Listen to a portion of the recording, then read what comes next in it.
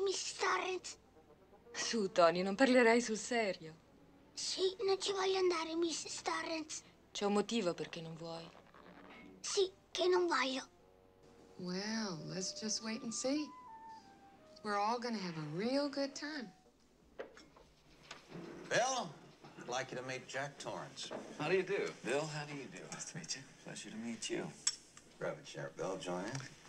Jack is uh, going to take care of the overlook for us this winter.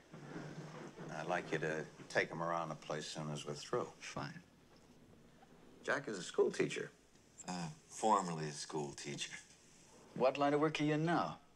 I'm a writer. Um, teaching's been more or less a way of making ends meet. Well, this ought to be quite a change for you. Well, I'm looking for a change.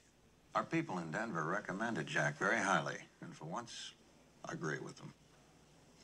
Let's see, where were we? I was, yeah, about to explain that um, our season here runs from uh, May 15th to October 30th. Then we close down completely until the following May.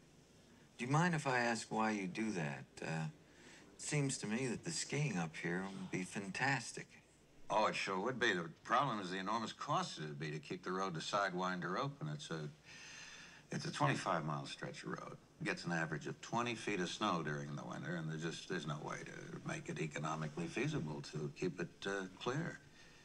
When the place was built in uh, 1907, there was very little interest in winter sports, and this site was chosen for its seclusion and scenic beauty. Well, it's certainly got plenty of that. That's right. Le hanno spiegato quelli di Denver pressappoco in che consiste il suo lavoro? Si sono tenuti molto sulle generali. Ah,